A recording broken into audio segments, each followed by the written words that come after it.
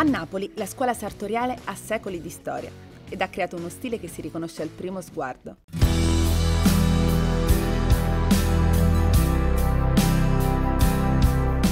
Io sono praticamente nato tra tessuti, stoffe, campionari, forbici, attrezzature di sartoria.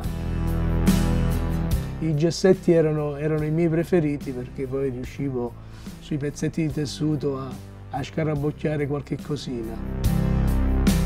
Era il 1948, quindi immediato dopoguerra si può immaginare la città, in che condizioni era, eravamo nel quartiere avvocati, i miei genitori erano molto giovani, decisero i miei genitori di aprire questo piccolo laboratorio sartoriale in questa casa dove poi io sarei nato successivamente.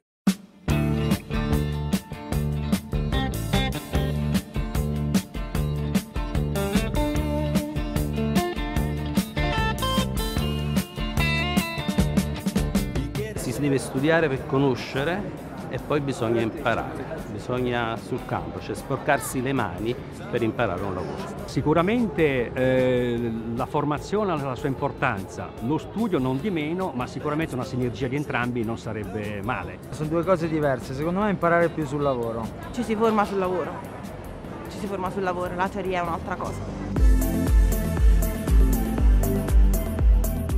Quindi il tuo grande amore hai scoperto che è la prototipazione 3D e ti sei anche reso conto di quanto sono richieste le professioni digitali. Sì, assolutamente, perché danno mm, possibilità a diversi campi di attingere da questa tecnologia. Grazie a questi macchinari, adesso ne vediamo uno in particolare in filamento, possiamo riprodurre e creare parti meccaniche, parti aeronautiche, parti per ingegneria navale, parti per droni, diverse grandezze di ingranaggi, insomma c'è una vasta gamma di, di lavoro.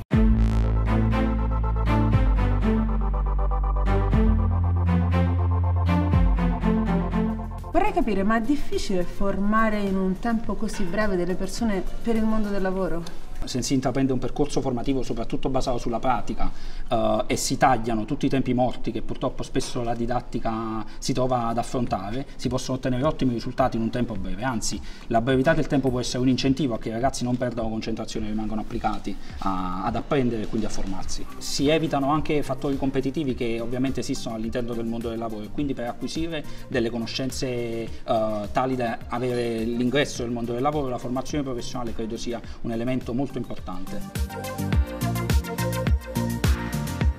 Abbiamo una domanda del mercato, eh, la domanda è quella delle imprese, che è si evolve in maniera molto veloce e quindi la formazione non ce la fa a essere eh, al passo di questa domanda, cioè quando noi programmiamo i corsi delle scuole o delle università spesso non riusciamo a essere tempestivi nella capacità di rispondere alla domanda o addirittura anticipare la domanda e quindi probabilmente c'è sempre una sorta di mismatch, cioè un problema di non incontro tra domande e offerte.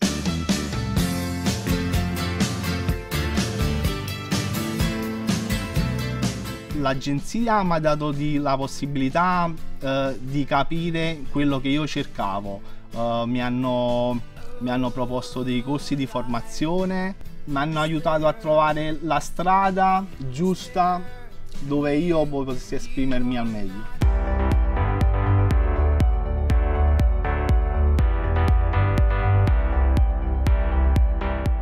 Lavoro è dedizione, impegno, sacrificio, costanza e coraggio. Vita, il lavoro è vita, perché il lavoro se si fa con passione diventa vita. Eh, il lavoro è fondamentale.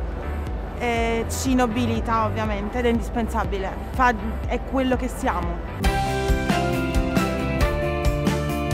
Ed è lì che capiamo che il nostro capitale umano è un patrimonio, ma dobbiamo saperlo riconoscere.